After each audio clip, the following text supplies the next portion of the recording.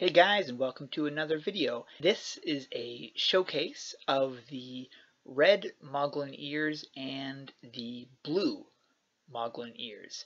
And these were obtained by purchasing the hats in the Hero Mart.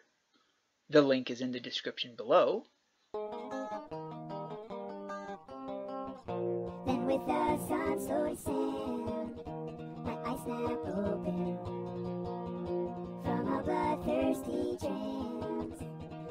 Hope is broken.